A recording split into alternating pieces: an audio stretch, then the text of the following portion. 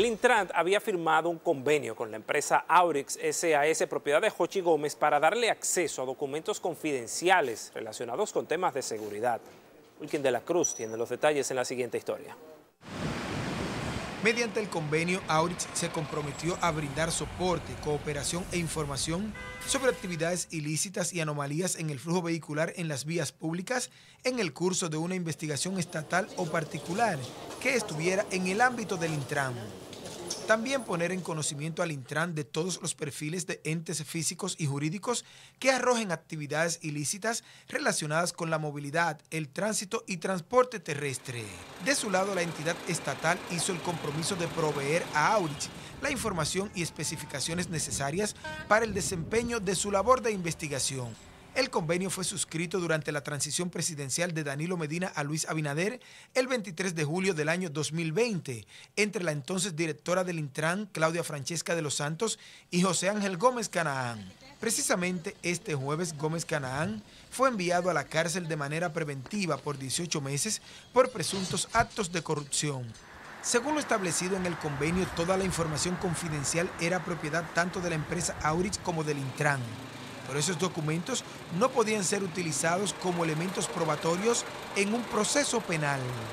El contrato que antecedió al de Transcor Latán tenía una duración de cuatro años, renovable de manera automática y podía ser rescindido de manera unilateral por cualquiera de las partes previa notificación con dos meses de antelación. Wilkin de la Cruz, Noticias SN, esta noche.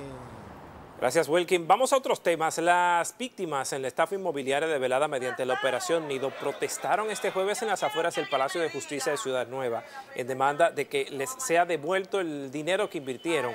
Además, exigen que sea destituido un funcionario del Ministerio de Planificación y Desarrollo que aseguran habría participado en el entramado. El Medina se le transfirieron aproximadamente 35 millones de pesos, que él lo reconoció ante el Ministerio Público e hizo la promesa de devolverlo y ahora de manera ligera se niega a entregar esta suma millonaria.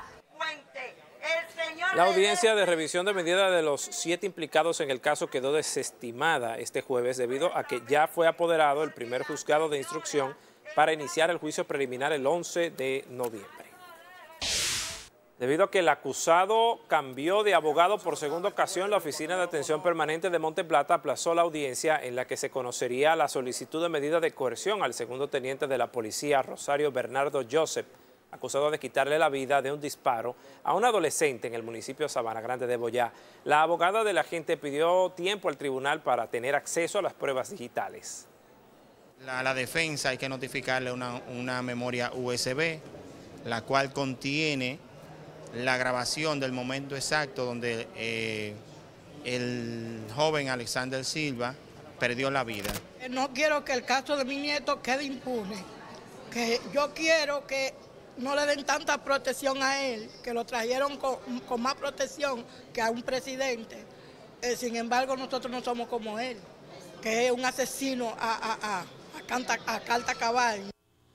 La jueza Daniela del Carmen Araujo fijó la audiencia para este viernes a las 9 de la mañana.